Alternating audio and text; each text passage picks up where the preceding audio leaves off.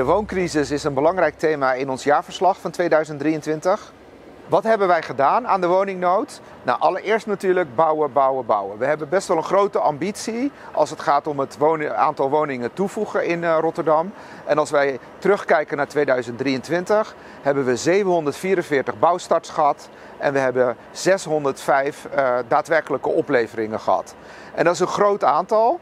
Uh, dat is niet onopgemerkt gebleven in Rotterdam.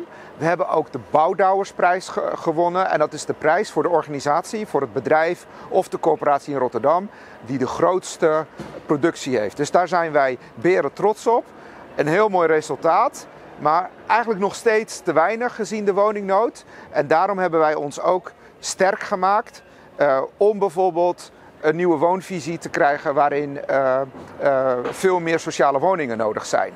Um, en verder werken wij intensief samen in de sector, ook met andere corporaties, om sneller te bouwen, maar ook om te kijken of we ook goedkoper kunnen bouwen, zodat er uiteindelijk ook meer woningen kunnen worden gerealiseerd.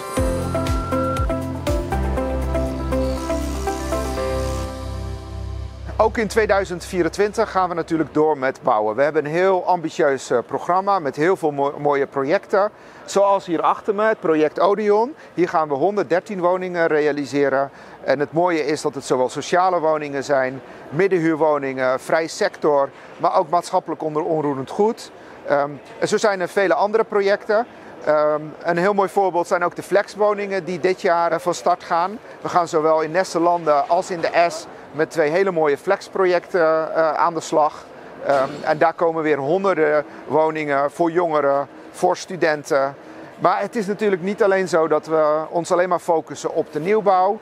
Um, ook de bestaande voorraad heeft onze aandacht. Dus we gaan ook heel veel woningen uh, onderhouden en uh, renoveren in 2024. En zo proberen we er ook, ook in 2024 weer het verschil te maken voor onze bewoners, voor de buurt en voor Rotterdam.